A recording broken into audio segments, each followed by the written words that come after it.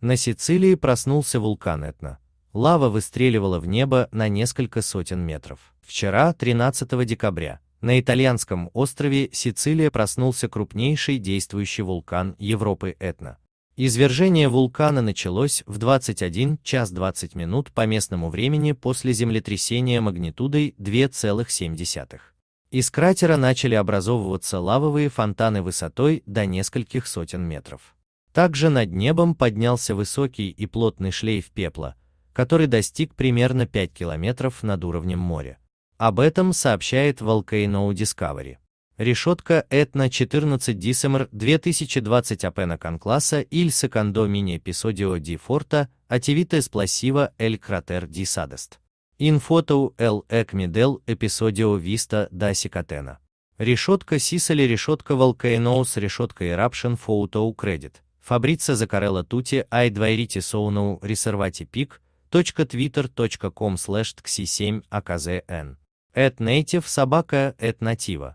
Десембр 14, 2020 вулканологи подтвердили, что извержение произошло как из так называемого Седлового канала между старой и молодой вершинами комплекса кратеров на юго-востоке, так и из трещины, открывшейся на юго-западном фланге конуса. A few moments of the second short episode of Strombolian activity culminating in lava fountaining at решетка Etna as Southeast Crater Diorin the night of 13, 14 Декабря 2020. pic.twitter.com slash xjvntfhjt.